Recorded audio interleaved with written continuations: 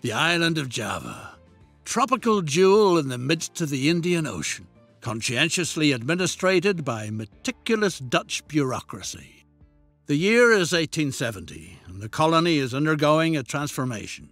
Recently, individuals have been allowed to lease farmland and manage plantations. The fertile land offers ideal conditions for exporting a multitude of colonial goods. Off on the way to an exotic experience.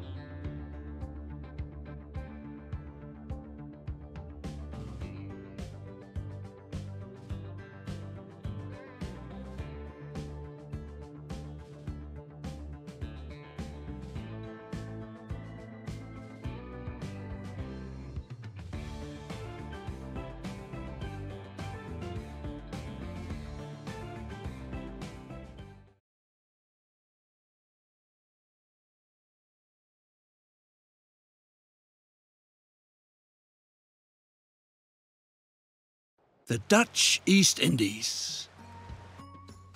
Surely the most exemplary colonial empire under the sun. With luscious fruits and cheap labour in abundance. You act on behalf of the colonial administration. A gifted talent in the art of engineering, you have been appointed to modernise the local transport sector. Complete this task to the satisfaction of the Crown. If you do, even the post as governor might be in store for you.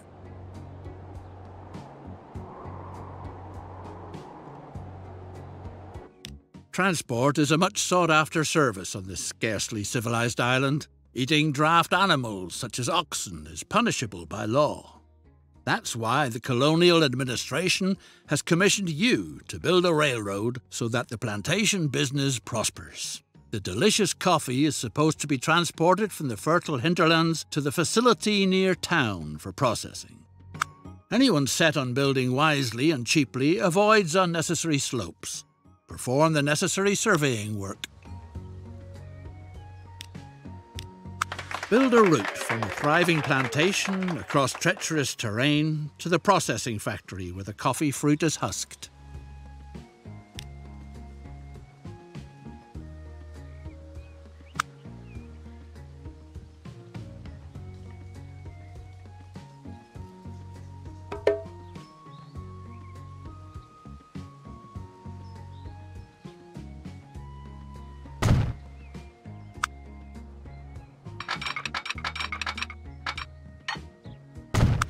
A depot is needed.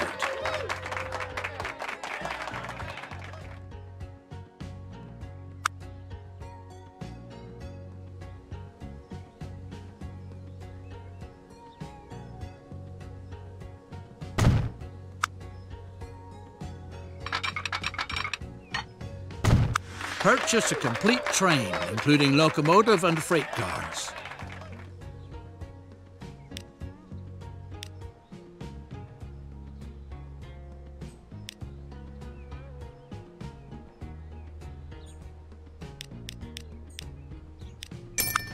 Coffee fruit can now be brought from the plantations on its way to further processing.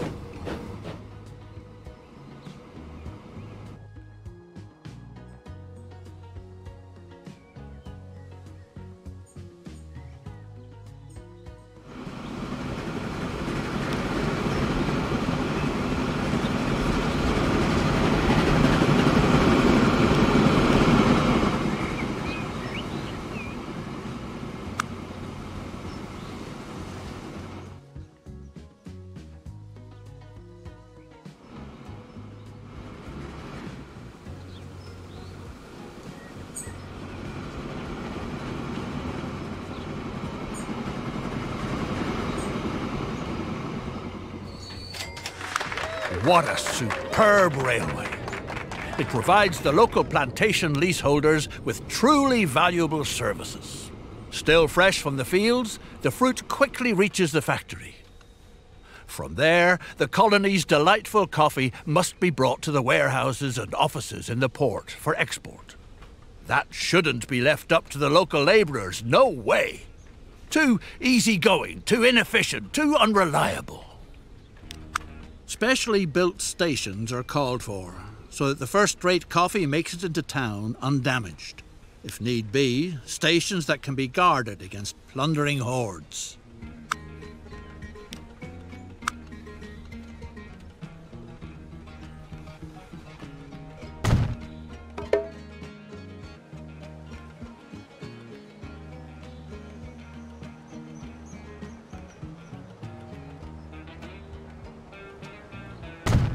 Ready to go.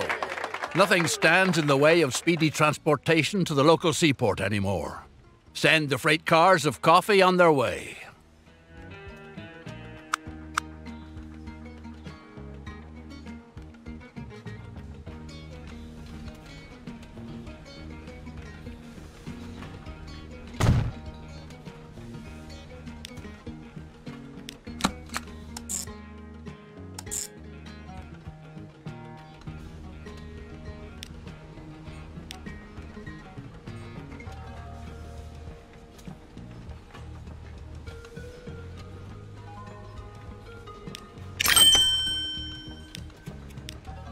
Factory now finds itself in a laudable position by sending processed coffee into town. To experience considerable growth, its products have to reach a clientele with money to spend. Oh no! Lucas, the capable engineer on your locomotive, seems to have vanished from the face of the earth. Or anywhere else for that matter. Time to find a stand-in, right away. Would one of the natives be able to meet this difficult challenge? Several locals show an interest in learning the decidedly noble profession as locomotive engineer. A practice route for training purposes is needed. Meanwhile, certain signs are feeding horrible rumors about the indigenous tribe's diet.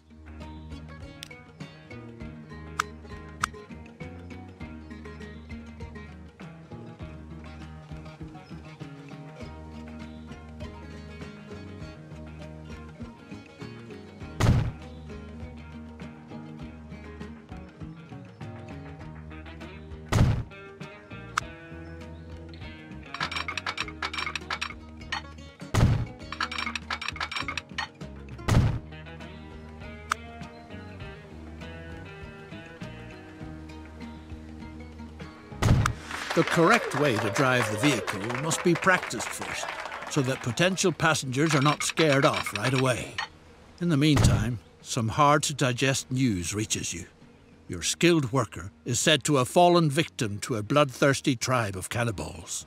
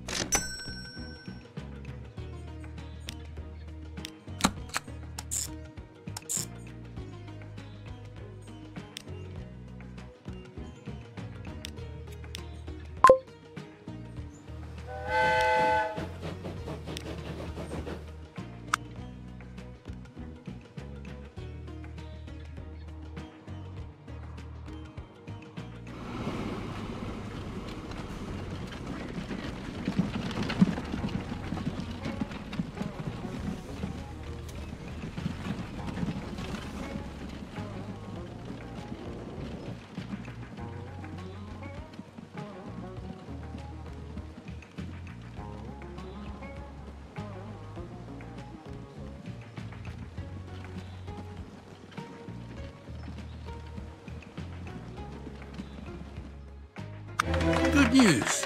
The locomotive engineer has returned safe and sound.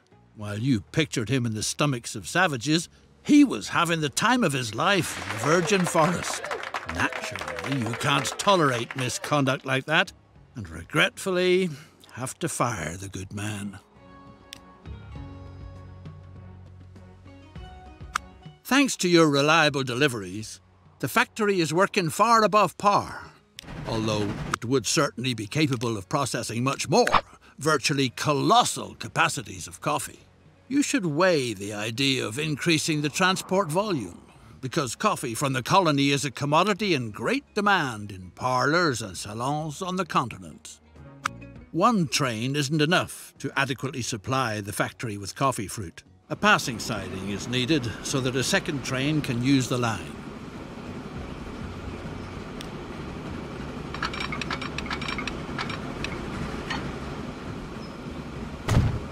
The trains should wait for each other on the passing side. This requires placing signals.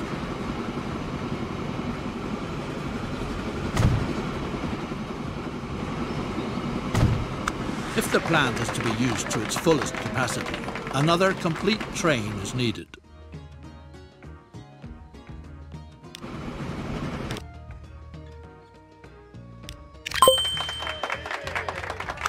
Wherever coffee production thrives, business and prosperity flourish too.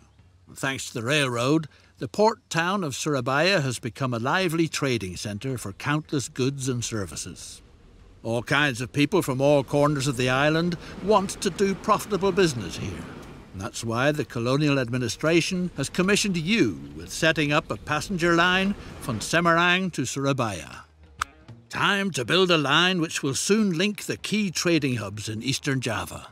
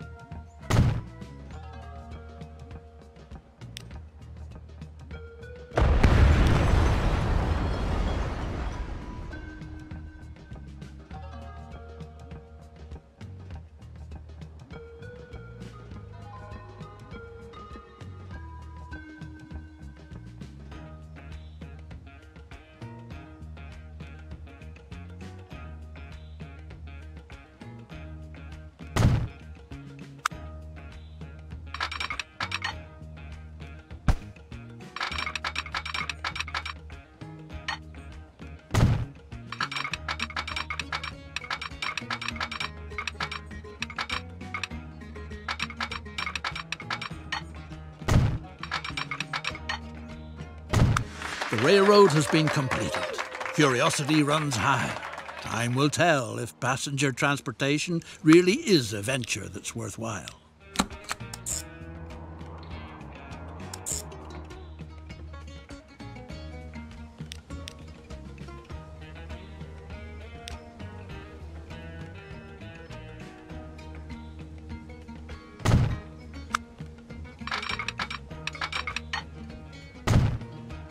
A formidable enterprise like yours calls for a suitably first-rate branch office. After all, you're not just anybody.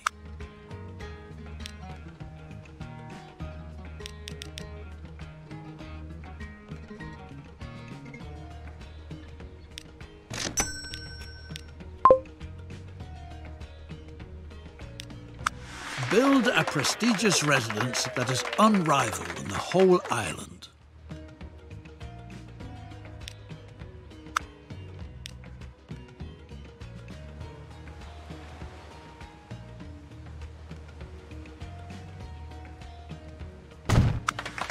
Truly attractive estate, but a veritable plague is spoiling all the fun. Snakes have occupied the building. Rumour has it that a wise old woman knows how you can rid yourself of the snakes in your walls. She's supposed to be in Surabaya. The old woman says she doesn't know a thing, but you should try your luck with her cousin in Semarang, who has a knack for the art of snake charming. The snake charmer declared that you've probably angered the mighty snake goddess with your projects. The snake priestess of Mount Merapi is the only one who could remedy the situation. The priestess has spoken. The only way she is willing to call off her children is if you make a sacrifice to the great snake goddess. Coffee, the priestess prophesied, will be the sure thing to appease the goddess.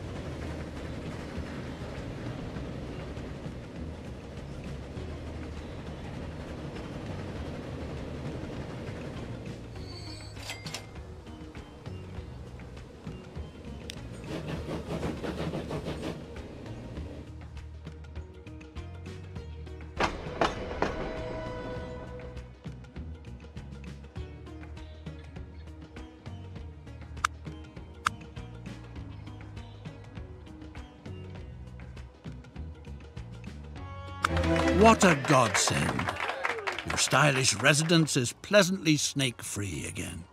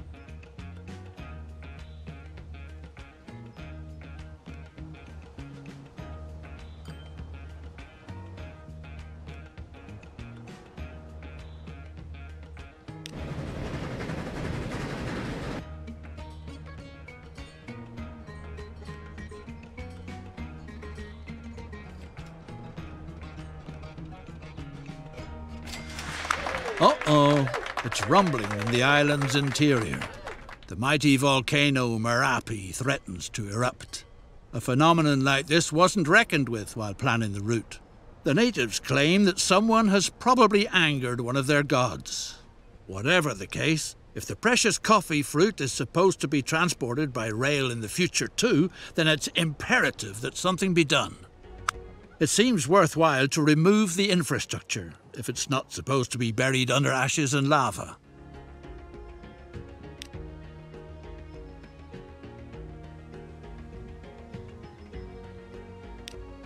To enable coffee production to continue making progress in future, the route ought to be relocated to an area where it can be assumed that the expected eruptions will leave it intact.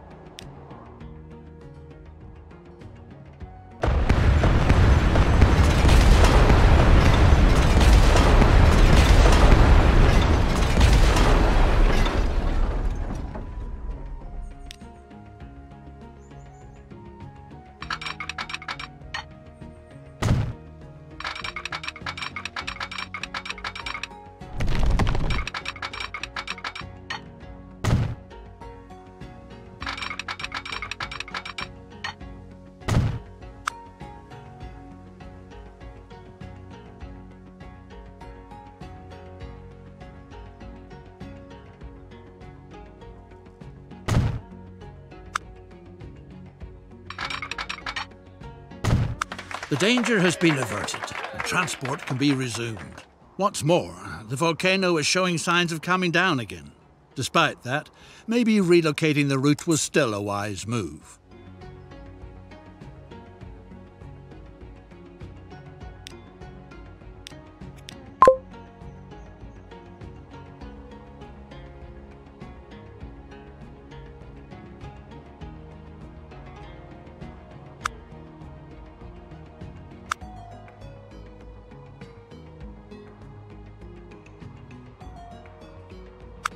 Fertile island has a lot more to offer than coffee. The widow of a friendly grower, may the poor devil rest in peace, has been planting sugar cane lately. Make the lady happy by providing her with your services. The sugar must be transported to town. From there it is shipped and then served when continental Europeans get together for coffee.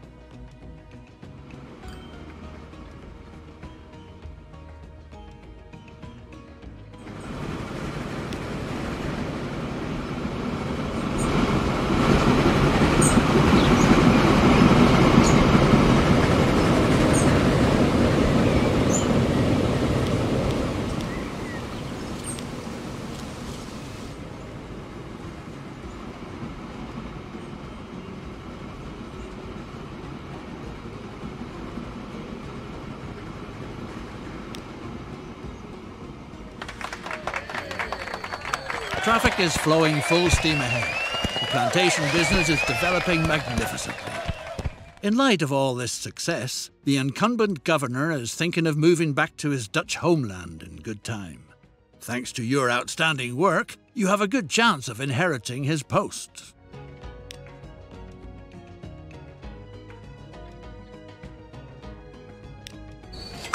Sugar rattles toward town quickly by train.